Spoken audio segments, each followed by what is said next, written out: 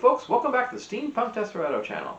I'm your host, the Steampunk Desperado, and this is the place where we talk about the wonderful and fascinating topics of science fiction, fantasy, and history, and the intersection of those, the, the amazing genre of steampunk. Today I'm on my historical kick.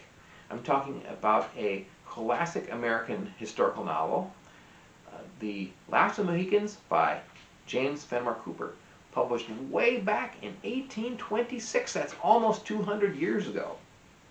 And it remains a classic to this day.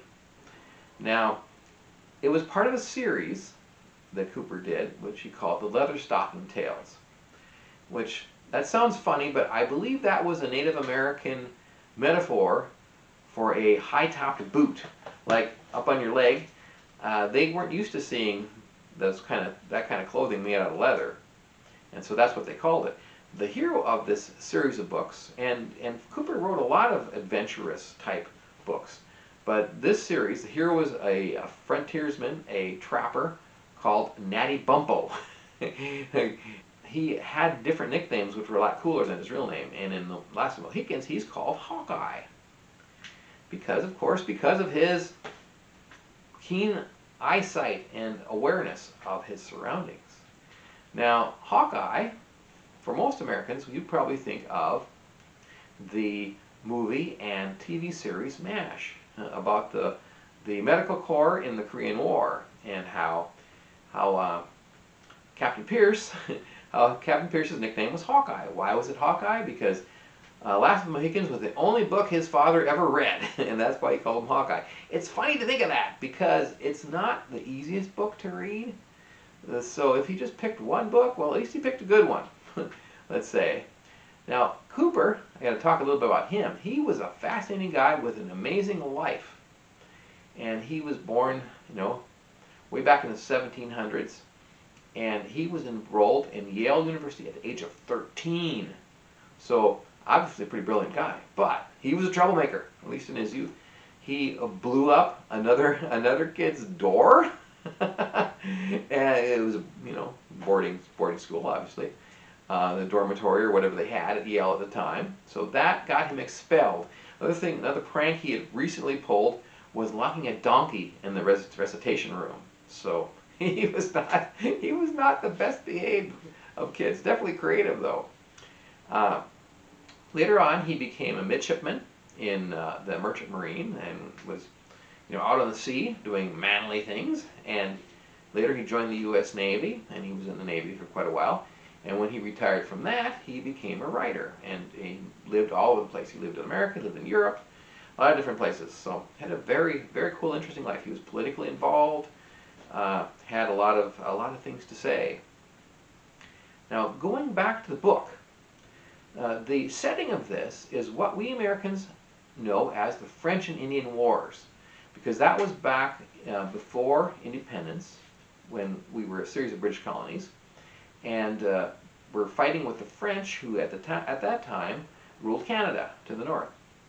And the Indian part means that they enlisted Native Americans as their mercenaries to uh, attack the British colonists. And of course, the, the British did the same thing. And so there were a lot of different tribes involved fighting one another, which is definitely a theme of this book. And uh, so it takes place ar around the 1750s, and uh, at the time that George Washington, later, you know, the founder of our country, the father of our country, he was one of the uh, military leaders in that, and he had, you know, some pretty harrowing experiences uh, fighting the French uh, at that time. So this is a tale of the frontier, at the time when the frontier was upstate New York.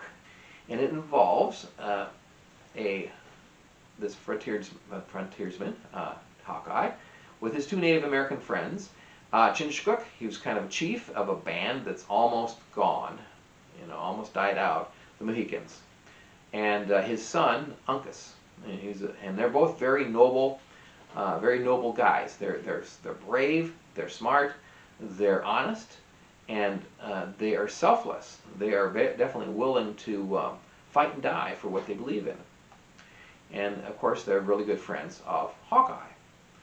and what how it starts is there's a fort uh, up in up upstate New York near the border with Vermont uh, called um, Fort William, William Henry by the British, and they're besieged by the French. Uh, one of the guys on the British side is Colonel Munro. and, and uh, his daughters hired this native guide to get them up there to join their father. And this guy Magua, he was a Huron, who was actually he was he was masquerading as somebody from a friendly tribe, but he wasn't, and so he betrayed them, you know, and tried to take them prisoner. But they end up getting rescued by Hawkeye and his friends, and that includes the daughters and and their teacher, uh, their teacher, um, music teacher David Gamut, who is kind of a foil. He's kind of a he's very religious and he's he's kind of a buffoon actually, and uh, he provides a lot of the humor in the book. In fact, he consider in a lot of places he he sings as a means of defense. I mean, he's thinking that if he sings well enough that he'll he'll move the enemy to not attack him, and in some cases it actually works. So anyway, so uh, Hawkeye and his friends lead the girls to the fort.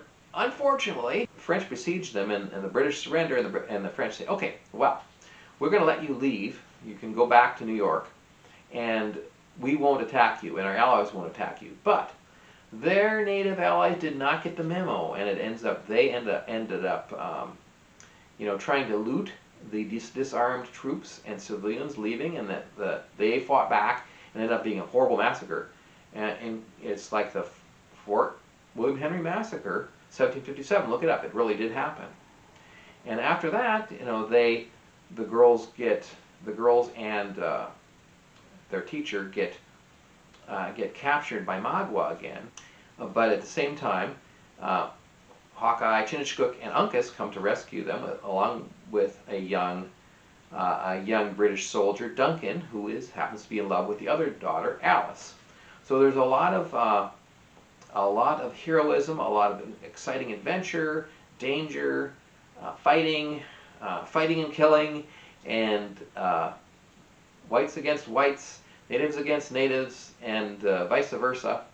So it's uh, got some really good and uh, really good portrayals, very descriptive of the nature and how beautiful everything is, uh, the the wonders of the natural world, and the people in it, the the interesting ways of the natives and their their fascinating cultures, and and interestingly enough, there's a lot of words that we associate as tropes uh, uh, with the Native American culture and so on that, that came from this book and probably were popularized.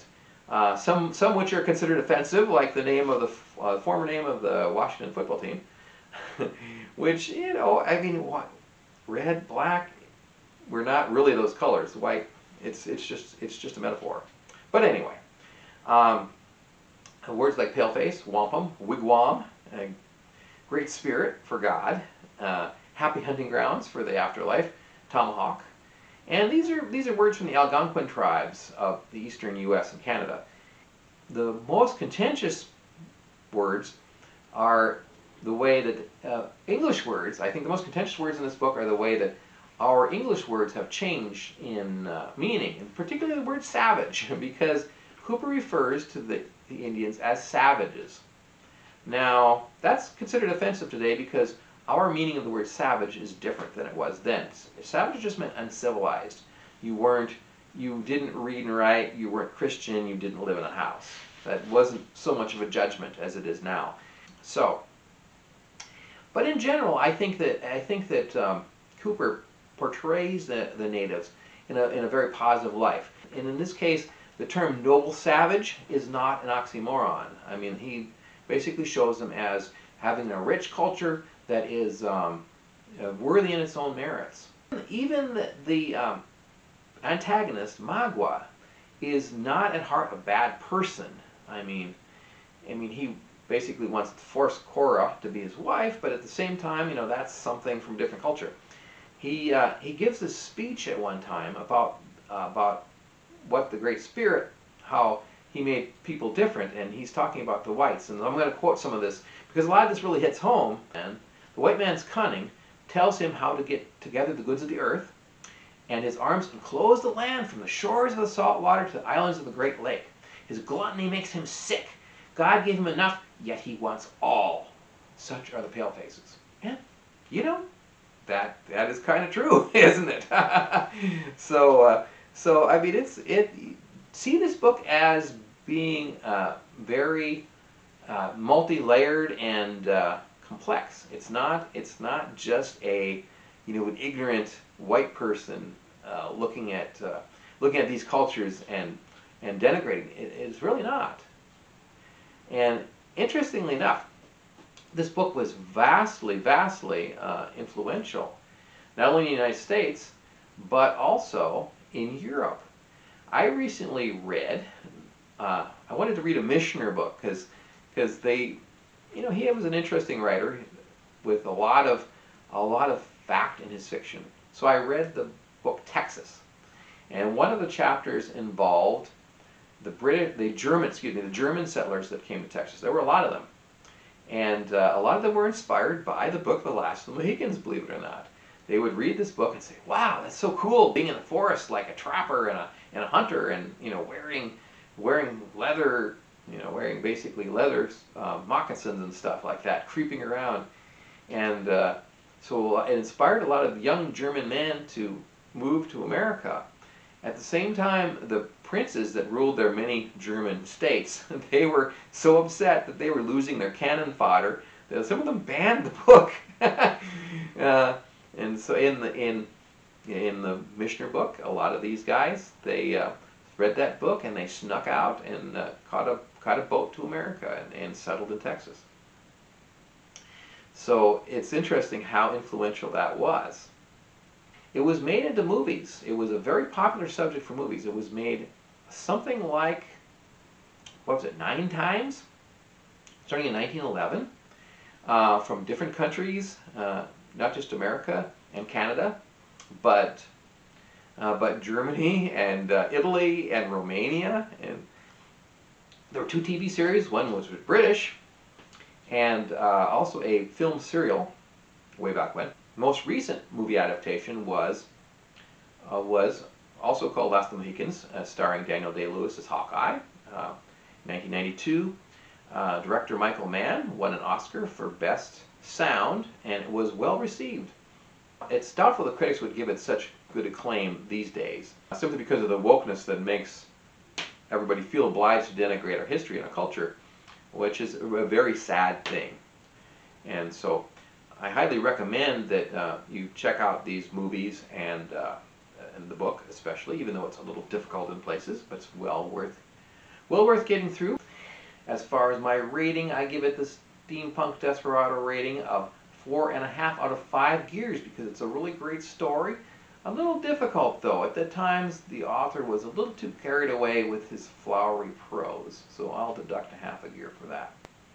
So this has been my review of the classic American novel, Last of Mohicans, by James Fenimore Cooper, published back in 1826. Thanks for bearing with me in this please check out the book, check out the movies, and please also like and subscribe and give me your comments below what you think of it. For now, this is the Steampunk Desperado saying adios amigos from the Steampunk Desperado channel where the past meets the future and the present is extraordinary.